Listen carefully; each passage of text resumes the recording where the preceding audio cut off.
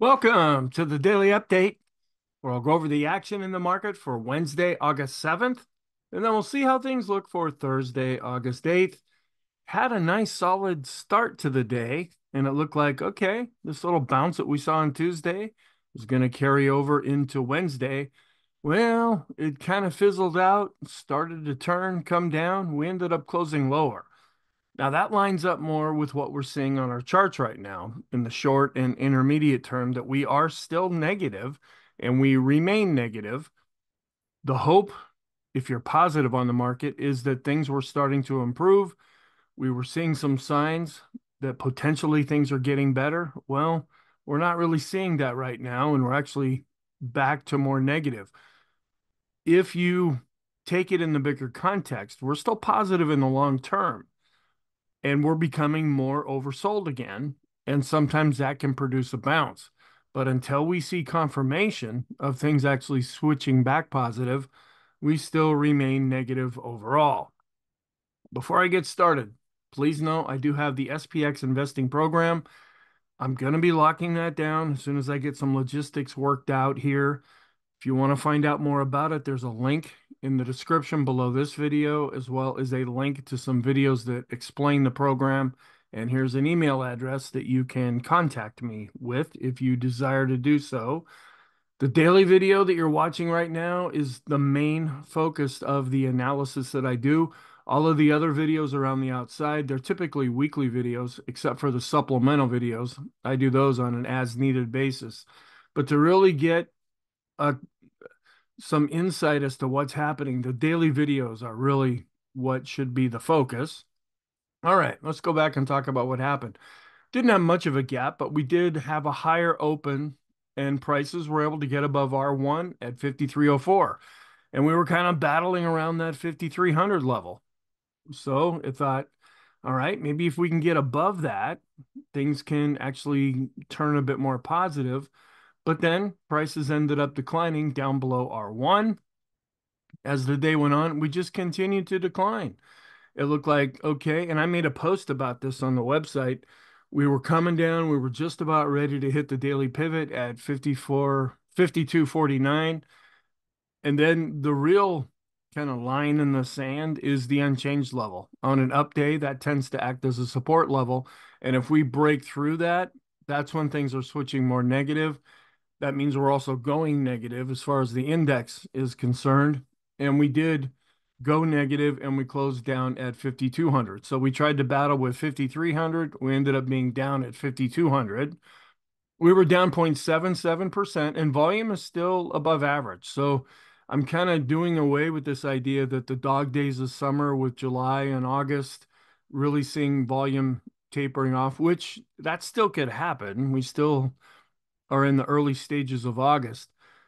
But this drifting lower volume just isn't happening. You got a lot of folks that are really paying attention to what's going on right now and doing a lot of trading both in and out.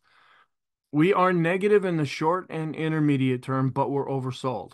We're still positive in the long term. Are we going to go down and test that 200 day moving average? We'll have to see if something like that unfolds. We're not really getting much in the way of economic reports this week that help us with the inflation and interest rate scenario, but the market is still adopting more of this. Wait a minute, instead of the economy just slowing down, and that's why the Fed will lower rates, maybe there's actually economic growth that is slowing down that could eventually put us into a recession. And that's changing the scenario over and making it more negative. And then all the different geopolitical things. We've got a lot of unrest still happening in England. We've got all the political things happening in the US.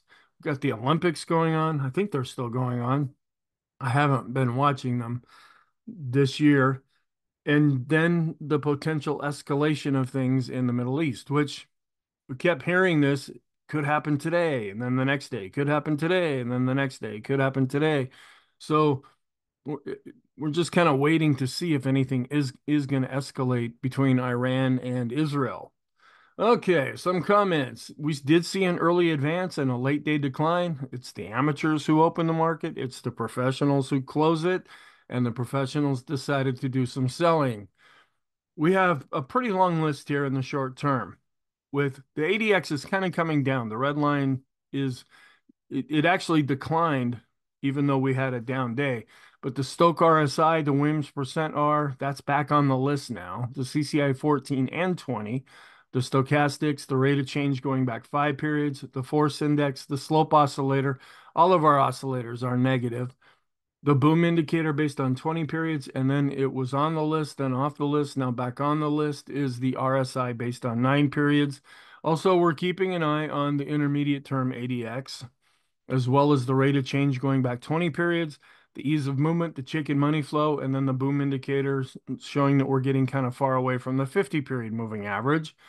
And then this idea that the market is really anticipating a rate cut in September. They've priced that in at 100%. It's what is the amount going to be? And then if things end up switching and the Fed doesn't end up cutting rates, oh my gosh, what is that going to do to the market? Because the Fed is supposed to do what the market's already telling it to do. But over the last few years, especially since the COVID lockdowns, and especially since quantitative easing has come back into the picture at different times over the last 15, 20 years or so, actually, it was out of the picture. It came into the picture. This means that the Fed is kind of leading the markets. And so it's the reverse of typically how it has been and typically how it should be, but it is what it is for right now the dollar was up and interest rates were also up. We're getting back up close to that 4% level again. We closed at 3.97% with the 10 year yield, where we had been at 3.89%. Still inverted with the yield curves. Sentiment is still extreme negative. We actually ticked down just one notch. We had been at 21, we're still at 20. When we get down to this level where we're below 25, that's when we start to look at using this as a contrarian indicator but we're just not seeing any follow through yet, at least more than what we saw on Tuesday, as far as confirmation that things look to be recovering. Our trend is negative. The ADX is above its moving average. And with the down day, we're negative, and the momentum is now negative. Okay, we just had the weekly MBA mortgage applications index, which came in at 6.9%, where last week it was down 3.9%. And here is a chart of that. Not a major thing by any means. This is just something I like to keep an eye on, and it comes out every week. So we're not seeing a real lag in the data like we do in some of the other economic reports. Then Isabelnet blog charts, the 37 week rate of change, where you look over here and we are starting to come down a little bit here. This had been really going up, showing good solid momentum, but we're getting to what they call a sell signal now, where we hit one of these red lines because we're we're getting to a pretty high reading as of when this chart was created, and that's longer term, and that could be negative. And then I didn't put this in the seasonality section because there's a typo or something wrong with this chart. It's a Carson cycle composite for the S&P. I don't know how they do this. They take all their different cycles and jam them together, but it suggests a buying opportunity in March. Well, great. I mean, back here is March, but we're in August now. So I'm not quite sure what they were trying to say by this. This is more the summertime. Maybe they meant this could be a good buying time it would be after October, but we still have some real bumpy ways to go along the way. So I'm I'm not really sure what to make of this chart. And then the S&P 500 annual peak top to trough bottom declines. When you put this in the perspective of other declines that we've seen, even though we were falling down on Monday and we got close to that 10%, we ended up being down about 8% according to this measurement. It's still below the median that we see. And that that's what I was watching on Monday. That's why I decided not to open any additional bears positions on Monday than I didn't on Tuesday because we had an up day. I did on Wednesday though because we ended up having a down day and we're still looking negative. But people want to just freak out and all re- overreact to what's going on where really we haven't come down to the median of what we typically see. And even in solid positive environments, we still see pullbacks and even declines during those times. And then the median monthly flow into equity mutual funds. Now, I know a lot of folks are not necessarily doing mutual funds as much anymore, but this also shows ETFs where we look at the month of August, where this is when people tend to take money out. Maybe they're going on vacation or something, and they've been saving up for that magical trip. And then until the summer, the S&P had one of the best starts ever. This is the orange line. Well, July was good. It's just that August, we're starting to run into some problems here. Where the dark blue line, this is the median. This is what typically will happen going back to 1928. And then the two year treasury yield, if you push it ahead, and again, I like to look at these charts, but I don't use them to make decisions. It leads by 20 weeks and suggests the Fed is behind. Okay, you can put any kind of thing together and either justify what the Fed is doing or what they're not doing. On a down day, they're screaming for an emergency cut. On an up day, they're like, oh, everything's just fine. But this might suggest that things are starting to fall off with the two year yield if you push it forward and then line it up with the Fed funds rate. All right, then looking at money going into or out of different sectors, even though there's more than 11 here because they have the total at the top, then we have ETFs in the middle. And then mixed in with all of this are the 11 different sectors where we're still seeing an awful lot of money going in last week. And then we have the four week average as well. And we see a lot of money right now going into ETFs itself. And I'd like to explain this from time to time. And I hit this in the course that I teach too that when the market is really trending up or trending down, passive investing by just getting into an S&P ETF or mutual fund, they tend to do better. When the market's starting to hit difficult times, then the actively managed either mutual funds or ETFs tend to do better because the actively managed ones they can maneuver things where you're just riding the index if you're in more of a passive type of investment. But this just shows you money going into consumer services, discretionary, healthcare, more defensive there. The financials, actually seeing some money taken out here over the four weeks, but money coming back in as the financials are doing better. And a lot of money going into ETFs, but also a lot of money over the last four weeks. They've been putting more into that. Where some of the more negative areas are here at the bottom with energy, tech, utilities, and industrials. All right, then looking at the risk appetite here, where we had fallen down to kind of a low level, and this may end up being some kind of a contrarian indicator when folks are getting really negative. Now, we could still drop lower than this, but when folks are getting very pessimistic on the market, and we see that with our sentiment reading, that's the time when we look at okay, maybe this is the time things might start to improve. And then looking at 5% pullbacks in the S&P have occurred three times a year going back to 1930. And this is the blue line right in here showing the average of 3.4%. And what we're seeing is not necessarily uncommon. I mean, I, markets just don't go straight up or straight down. They chop higher, they and they chop lower. They tend to go down faster because people might spend a period of time buying and then sell all of that at once. And that's why we see the down moves usually have more intensity, but nothing is necessarily out of the order yet based on history. I didn't, everything that Edward Yardeni was talking about, I don't think really applied in his latest um, post here to what we're talking about now. I didn't really find anything interesting on Twitter. So let's go in and look at our charts where we did have a nice solid open. It looked like, okay, we had that crazy day on Monday, but it looked like we were building a base. And then it looked like we were coming up out of that base, even though we closed off the high on Tuesday. And then it looked like, okay, maybe we're just going to be able to keep going. And we did have a higher open and we were able to help hold out above R1. But it's like all the buying just kind of fizzled up we ended up dropping down to the daily pivot, came down to the unchanged level, tried to use that as a support level, bounced up a little bit, but then broke down below it. And we ended up closing at the low for the session, where at the beginning of the day, we're battling the 5,300 level. Now we're just a little bit below the 5,200 level for the S&P. And we're not really showing much of a change now in the initial overnight session when we look at the intraday chart here. We still see the red line on top with the blue line underneath, although both are declining. And we're seeing a little bit more weakness now when we look at S&P growth of value intraday. And so growth was down more than value for the large caps, the mid caps, as well as the small caps. So it was not a good day for growth. And so our growth to value ratios for the small caps are still showing weakness as they are for the mid caps. And let's, oh, uh, there should be another chart in here. Oops, it was in the wrong spot. And we're just not seeing any strength with S&P growth to value either. We're keeping an eye on this growth versus value ETF, where we're still continuing to be below the 250-day moving average.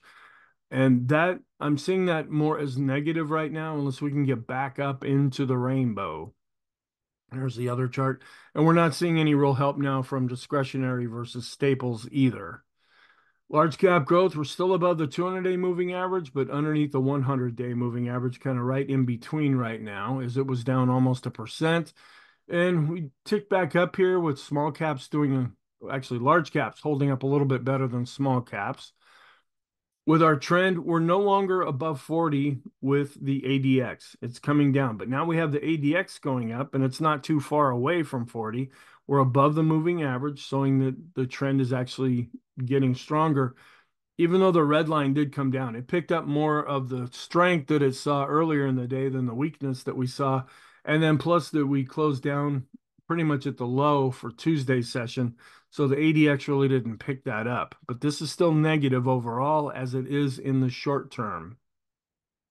And volume, even though it's dropping down a little bit, it's still above average.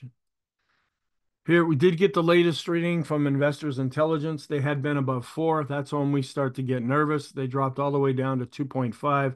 So now they're more in the middle area of things. The Ulcer Index continues to show an increase in fear, and we ticked up just a little bit with the closing value with the VIX, but still getting a very high reading at we're above 27 here. And also showing how we're coming down with the VIX, but still very, very high than what we had been used to seeing. So we're ticking up just a little bit here with the VIX of the VIX as well as the bar chart up above. And this is in also increasing the price of put options, which are protection, because when the VIX is going up, that means there's a lot of hedging going on here. So we're not really seeing a decrease in the VIX at this point. And seeing a higher VIX is typically what we do see seasonally and historically, and that's been what's happening lately. The momentum of the VIX continues to be up, and the VIX to move ratio is still very high. And we look at the move index by itself, where it's coming down a little bit and we ticked up just a little bit here with the VIX, but the correlation between the volatility of bonds and stocks is still very high right now. We actually declined with the daily chart of the equity put call ratio, but we're still going up with the five day and the 10 day charts. Looking at the spread between risky and not as risky bonds, this is what we're keeping an eye on mainly because of the next chart and in the middle area. To see this really going down, that means fear is increasing in the bond market. We want to see this come back down, and it's just not doing it at least yet. And then we did see an increase with this fear gauge and a little bit of an increase with this other fear gauge that we follow here. We're seeing the risk off start to really continue to show momentum here as folks are getting out of a risk on type position and getting more into a risk off position. That's more defensive. And volatility risk premium, which really had spiked up, is now coming back down into the band. And we did decline with the advanced decline line based on price as well as volume. But as I've been trying to point out, we're seeing a lot more intensity with the volume declining than we are with price. But for right now, you could also look at this and go, all right, we're, we're holding up. We're still above the moving averages here and not really seeing much of a change here with our five and 10 day we are going down but we actually saw more new highs than new lows so we're not breaking out either way and since we're in a more negative stance right now this tends to be holding up fairly well. And we're seeing a mixed picture here with the blue line below the midpoint. The red line is still above the midpoint. So we're getting a mixed picture in the short and intermediate term with the advanced decline ratio. And we're still getting a really extreme negative reading with the boom indicator with accumulation distribution.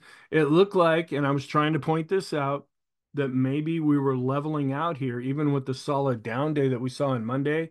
Well, in Wednesday's session, this shows that the smart money was actually doing some selling, but we are looking really extreme when we look at the boom indicator. And this also was potentially seeing some signs of improvement as we were going up at the Chaikin Money Flow. That's why I put the moving average on here. It's one thing to see this thing improve, it's another thing to see enough of an improvement to see the red line turning back up. And it never did that. And now we're seeing an even more extreme negative with the Chaikin Money Flow here. And we're starting to come back down with the Chaikin oscillator after it had been advancing. And we really dropped off with the cumulative NYSE advanced decline line here, but we're still holding up fairly well with the NYSE advanced decline line. Also holding up with this other NYSE advanced decline line. When we break it out with the NYSE common stock based on price, we were down just a little bit and we're holding up okay when we look at this based on volume. So it's the broader market that's hanging together. It's still the mega caps that are really causing some problems. And we ticked just a little bit here with the cumulative S&P 500 based on price. And we also ticked down just a little bit based on volume here. And when we look at the NYSE advanced decline line and compare it with the S&P, the red line's still on top. So it's holding up a bit better, even though they're on different scales.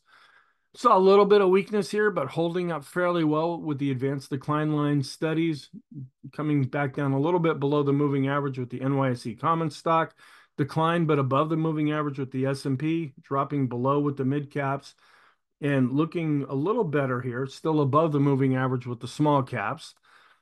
So not really much to show here as far as price is concerned. We're not really hitting any of these pivot levels that are causing much support or resistance. Down at the bottom, we are still above average with volume. And we're still looking oversold in the short term with the Stoch RSI being extreme negative. The Williams percent R is back on the list. The CCI 14 and the CCI 20 are all extreme negative. The stochastics in the short term are looking extreme, intermediate term extreme, and not extreme, but not really doing much here with the long term stochastic. No longer extreme as much with the force index, but still quite negative. And we tick down with the 20, 50, and 200 period moving average study for the S&P. The condition of the 20 period moving average is just not doing very well right now. And we're getting extreme with the rate of change going back five periods. this is an extreme negative reading. It looked like we might be trying to improve, but that didn't happen on Wednesday. We are showing a little bit of improvement here with the 10 day. We had come to a pretty negative reading and we're continuing to bounce up. And we're just right on the border between the minus two and minus three standard deviations channel. So we're not necessarily extreme there. And we were flat, but we're still negative with the balance of power. The condition of the 50 day moving average is still not looking very healthy. The go no go is negative. We're still battling the lowest low value. That's the red line here on this chart. The TTM squeeze is going down and continuing to get even more extreme negative. It's below this black line now, suggesting that in the intermediate term, we are oversold. And I forgot to put this on the list. And we're seeing a pretty extreme negative reading with the range, rate of change going back 20 periods. That's the lowest reading that we've seen over the last year. Standard deviation continues to be going up as we're really moving around a lot these days. Ease of movement is bouncing up, but still negative and still looking rather extreme negative. The Aroon is flat right now, but it's negative. And we're negative with the S&P McClellan oscillator and not extreme. So we're going down with the summation index based on price and volume. We were seeing this negative divergence in the shorter term where volume was going down while price was still going up. We're also keeping an eye on these longer term negative diver negative divergences when we compare it to what the S&P has been doing. The NYSE McClellan oscillator ticked down a little bit, still below zero. That's negative. So we are declining based on price and volume with the summation index for the NYSE. And you could also make a case for these little longer term negative divergences that we're seeing here.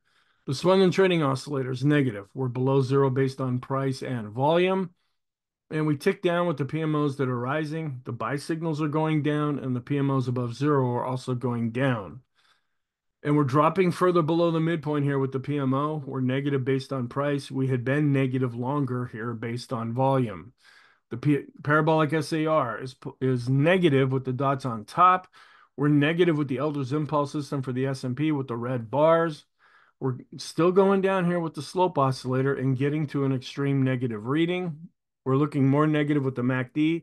So the reason I break these out, the slope is usually short term, where the MACD I treat as more short to intermediate term here, and both of those are looking negative. Then I put all of the oscillators on this chart with the short term looking quite negative now. We're also declining in the intermediate term and the long term. And we were not able to get above, well, we got above it, but we weren't able to stay above the 100 period moving average. This had been providing resistance on Tuesday when we saw the nice bounce. We got above it earlier in the session and then closed pretty much at the, the low for the day on the S&P, and that's usually not a good sign. So we're in between the 100 day moving average on top and the, we're haven't come down to the 200s yet, but that's still below current price. The Sean trend meter, it's trying to tick back up a little bit here, but it's pretty much neutral right now. And we're below 50 with the bullish percent index. That is turning more negative. We're also turning negative with the NYSE bullish percent index. We ticked up a little bit here with the NASDAQ 100 bullish percent index, but we're still negative since we're below 50. The money flow was flat, but we're below 50. That's negative. The ultimate oscillator is going back down. That's negative. The vortex sees the red line coming down, but it's still on top, so that is negative. We're below the moving average with on balance volume, which is negative. The Coppock curve is measuring momentum as being negative.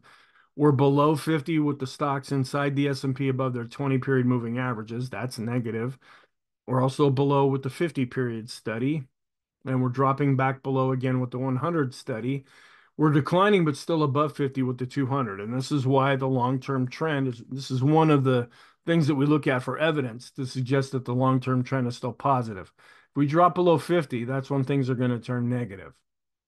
And we're still waiting for the third part of this signal. The first two have been triggered with the mass index, but this continues to go up. When we finally do get the third signal, we'll want to see if there's the potential of a reverse happening. And we're still looking negative with the RSI 14, and we're starting to get extreme negative here with the RSI 9, the short-term RSI. And we're far away from the 20 period moving average and 50 period moving averages here with our boom indicator study. And we continue to decline, but above zero with the 200 period moving average study. And keeping an eye on these fib levels just in case we continue to fall. We got kind of close on Monday, but still a ways away. We'll be wanting to see if this is going to provide some support if we see more weakness. And we're coming back down into the, actually, we dropped out of the cloud here with the Ichimoku cloud. This is a blow up here. We were able to get back up into the cloud on Tuesday. Now we're dropping back down below it and we see the blue line is below the red line that's negative and we see the green line declining. So this is also suggesting things are not very positive right now.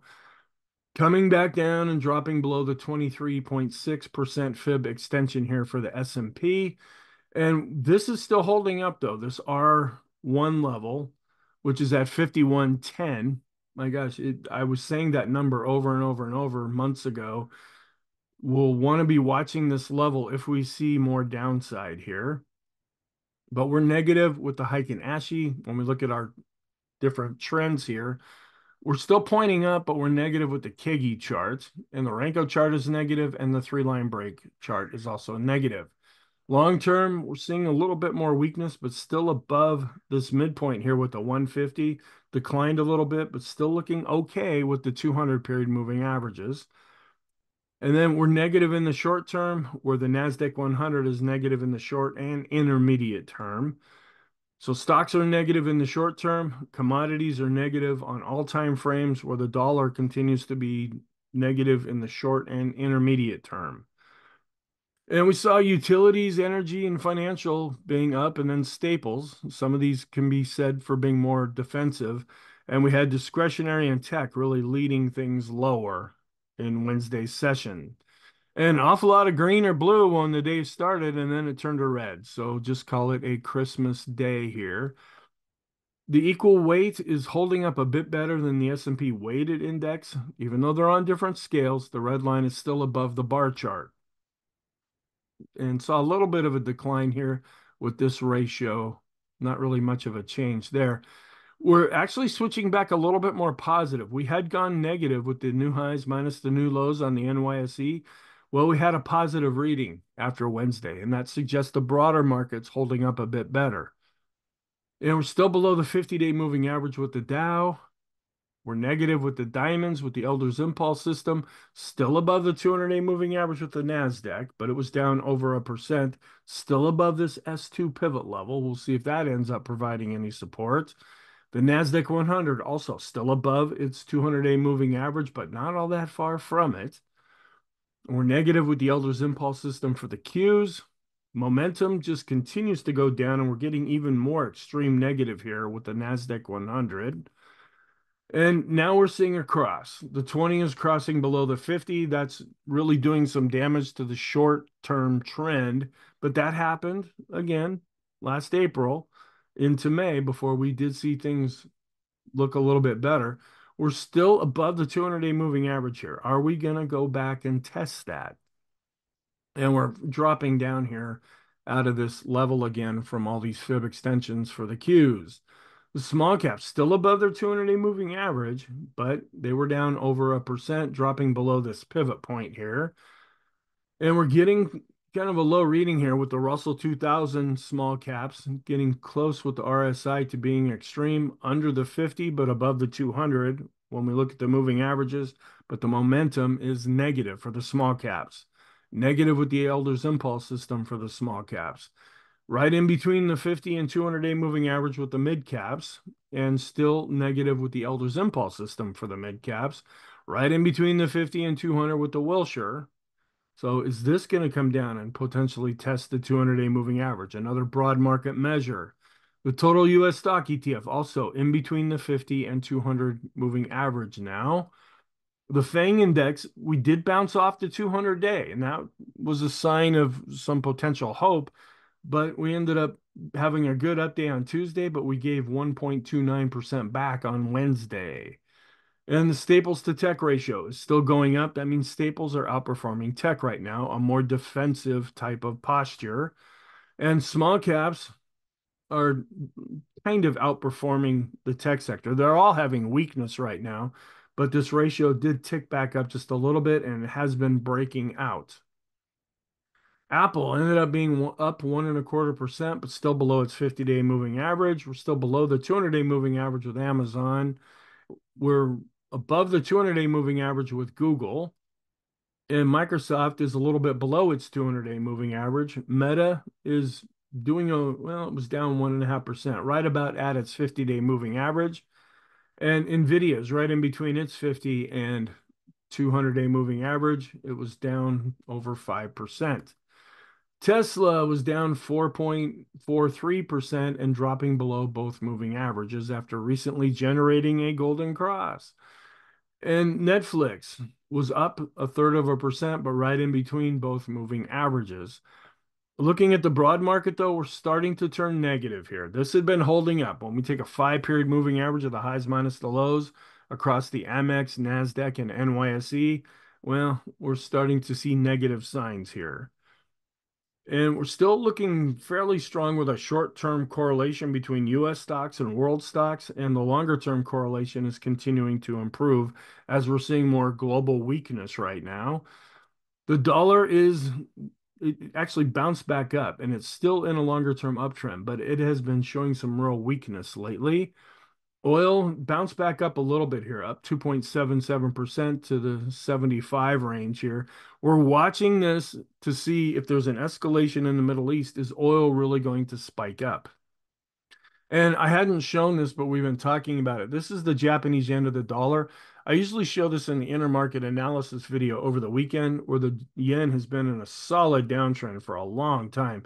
And this is what was causing the problem here is the Japanese yen was really going up against the dollar and that was forcing these high leveraged folks in Japan and uh, actually around the world who were getting Japanese yen at one price and then being able to get a higher return.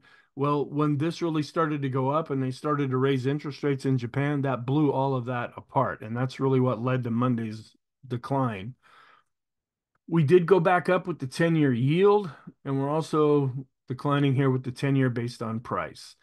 We're not looking good here with our growth to value ratios. With the Qs to S&P, discretionary to the S&P, large cap growth is underperforming large cap value.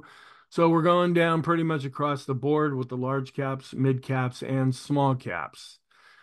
The S&P to utilities ratio continues to decline, which is also negative. We're also dropping negative with our advanced decline ratio based on price and volume.